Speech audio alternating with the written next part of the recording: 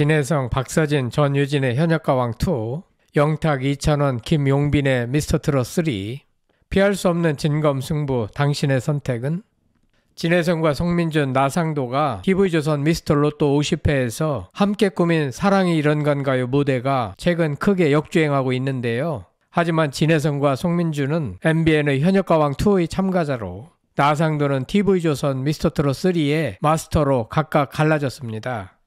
앞서 불타는 트롯맨과 미스터 트롯 2가 맞붙었을 때는 진혜성, 박서진, 안성훈 등 이미 상당한 팬덤을 확보하고 있던 가수들이 TV조선으로 대거 몰려들었고 MBN은 손태진이라는 성악가 출신 트로트 가수를 새롭게 배출하며 맞불을 놓았습니다. 하지만 이번엔 양상이 크게 바뀌었는데요. 유명 가수들이 현역가왕 2 쪽으로 대거 몰린 반면 미스터 트롯 3에는 유명 마스터들이 몰렸습니다.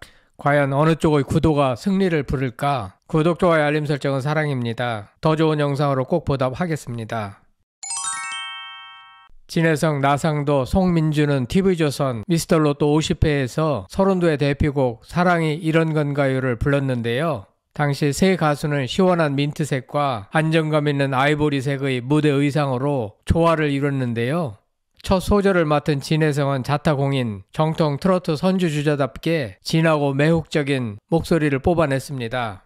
나상도는 힘이 느껴지는 음색으로 박수를 받았습니다.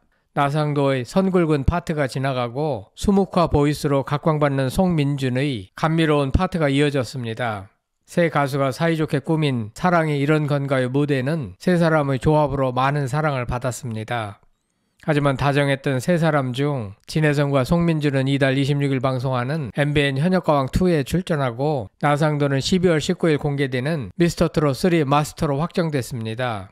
함께 있던 동료 가수들이 두 개의 경쟁 방송사로 쫙 나뉘어졌는데요. 현역가왕2는 진해성과 송민준, 최수호 등 미스터트롯2 상위권 가수 및 불타는 트롯맨의 김중연, 공훈, 에녹 등 톱7 일부가 참여해 열기가 후끈 달아올랐습니다.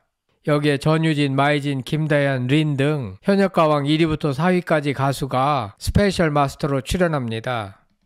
이들의 팬층까지 끌어들이겠다는 전략입니다. 현역 가왕 2에 맞서는 미스터 트롯 3는 나상도를 비롯해 영탁, 이찬원, 정동원, 장민호, 김희재, 안성훈, 박지현, 진욱, 박성훈 등 역대 미스터 트롯 출신 탑 7이 대거 투입됐습니다.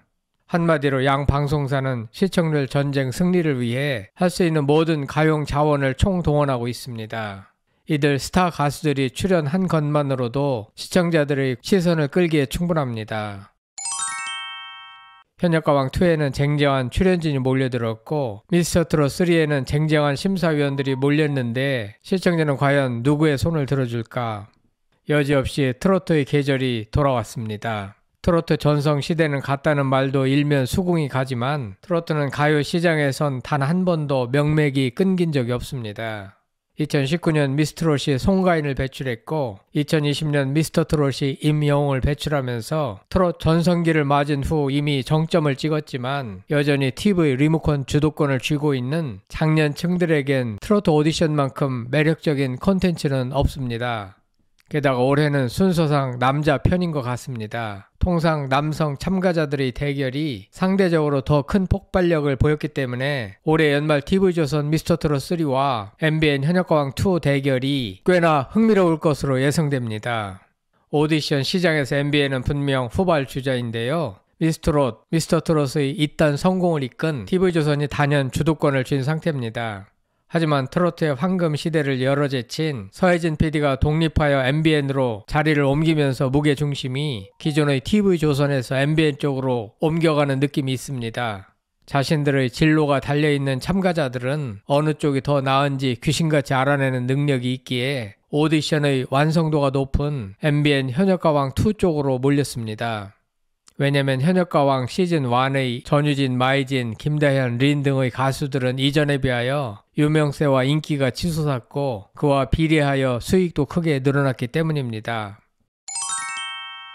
앞서 불타는 트롯맨과 미스터 트롯2가 맞붙었을 때 인지도 높은 기성 가수들이 미스터 트롯2로 대거 몰렸는데요.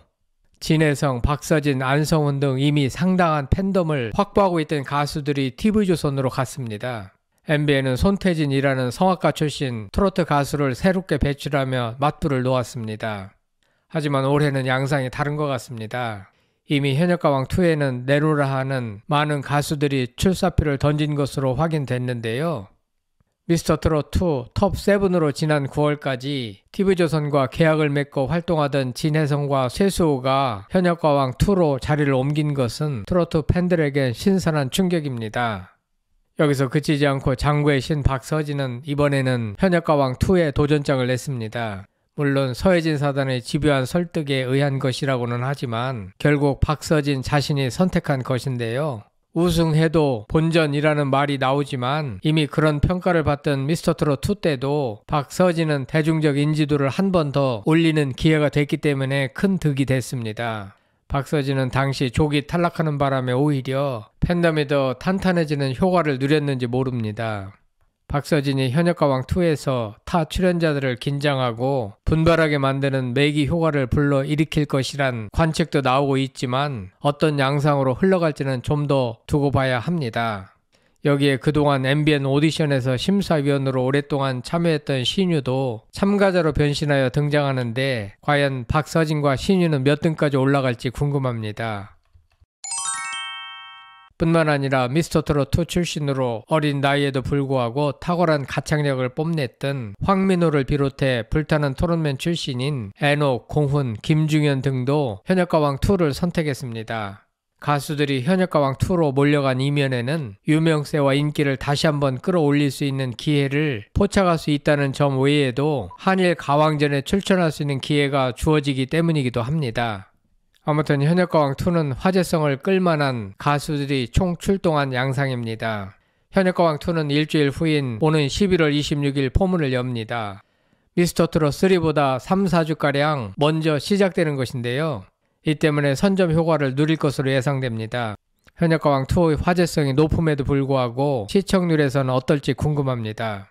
왜냐면 앞선 MBN 트로트 오디션도 TV조선보다 먼저 시작됐지만 현재까지는 시청률 면에서 TV조선이 앞섰기 때문입니다. 중장년층의 트로트 팬들은 MBN보단 TV조선에 익숙한 영향도 있는 것 같습니다. 하지만 전문가들은 올해의 경우 출연진이 워낙 쟁쟁하기 때문에 처음으로 양사의 시청률이 역전되는 골든 크로스가 발생할 수 있다는 예측이 조심스럽게 흘러나오고 있습니다. 또한 프로그램의 운영이나 편집도 현역가왕 2 측이 더 재밌게 잘한다는 평가가 나옵니다. 그렇다면 현역가왕 2에 맞서는 미스터 트롯 3의 강점은 무엇인가?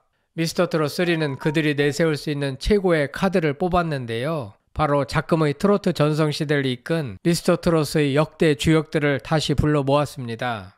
미스터 트롯 톱7은 대한민국에서 방송됐던 모든 오디션을 통틀어 가장 크고 강력한 팬덤을 구축했다는 평가를 받고 있는데요. 이 중 우승자 임영웅과 이슈의 중심에 선 김호중을 제외한 영탁, 이찬원, 정동원, 김희재, 장민호가 한자리에 모입니다. 마스터 그룹도 선배 마스터 군단과 국민 마스터 군단으로 나누어 심사를 하는데요.